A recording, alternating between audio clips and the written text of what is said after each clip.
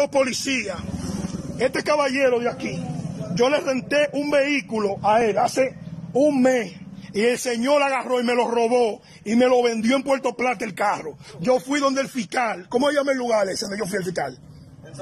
Fui donde el fiscal de Sancho Sama de robo y recuperación, quien me dijo a mí que la orden iba a salir en un mes y a ellos supuestamente lo están desalojando, que tienen planes de mudarse de hoy a mañana.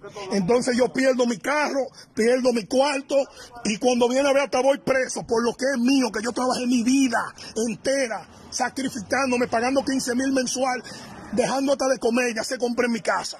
Pero ellos no se van a ir con mi carro. Yo prefiero morirme o que me maten. Nadie se va a robar lo mío. Yo soy una persona ejemplar. Yo nunca en la vida he caído preso, ni por redada. Ese Carlos no se va a robar mi cuarto. Tiene que matarme primero. No lo voy a permitir. Vinieron dos agentes de la policía, muy decentes, todo bien. Pero no voy a permitir eso.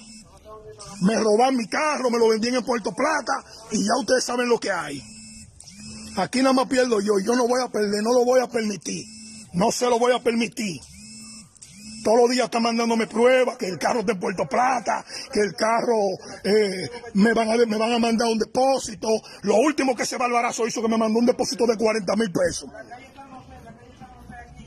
Y yo puedo estar aquí porque yo puedo estar aquí porque yo pago una placa. Yo pago una placa bastante cara. Esto, esto es vía pública. Yo no le estoy haciendo daño a nadie. Estoy siguiendo lo que es mío, lo que a mí me robaron.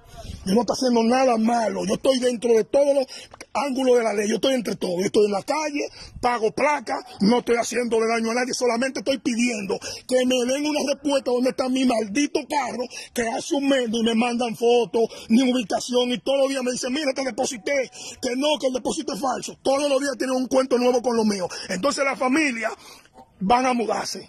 Parece que ellos están impuestos a esa vagabundería. Entonces tienen planes de mudarse. Entonces ellos se mudan, yo pierdo mi carro, pierdo mi dinero y todo el mundo es feliz, pero yo no, porque yo perdí lo mío. Y el magistrado del ensancho Sama, el que está ahí encargado, yo fui me quejé y lo único que me dijo fue que él estaba alto de la renta cal, que él lo iba a subir al internet y iba a ejecutar, diciéndole yo que yo sabía dónde estaba el ladrón y dónde estaba el carro. Y lo que hizo fue que me dio una opción, parece. Es lo que quiere que yo lo mate a ellos ellos me maten a mí.